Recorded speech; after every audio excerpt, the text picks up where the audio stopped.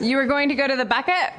I don't know what was that. Hey, Max Headroom, what do you think? oh boy, uh, we went to we went to my ten year high school reunion this last weekend, and Dan was a hit. He started the whole like he started everyone dancing. Like he just decided that he would start dancing, and the uh, the band geeks from my class came up to me and.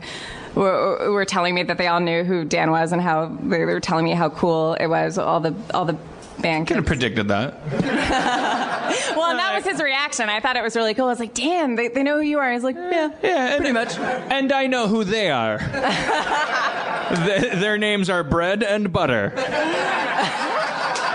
and I have known them for my entire 20 year career. and, I, and, and I am peaking right now. I knew that your high school class would have like five guys in it who played tuba or, or, uh, but uh, track team too. Like, I, I, you know, I knew, I knew there'd be a couple guys who would like slip up to me at the urinal and go, Hey man, good job.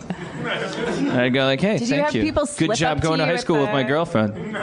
You had guys slip up to you at the urinal. No.